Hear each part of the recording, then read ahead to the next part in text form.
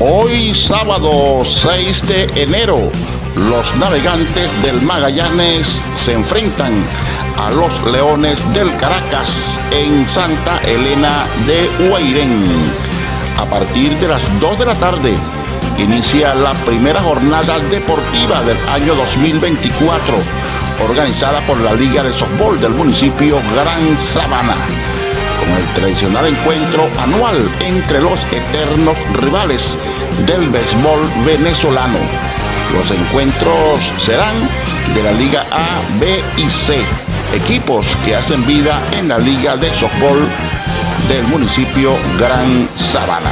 También se estarán realizando carreras de velocidad, lanzamiento del home a segunda base, center field al home, home run Derby. Igualmente el pitcher que lance más strike. Los ganadores recibirán su, su premio monetario a partir de 100 reales por competencia.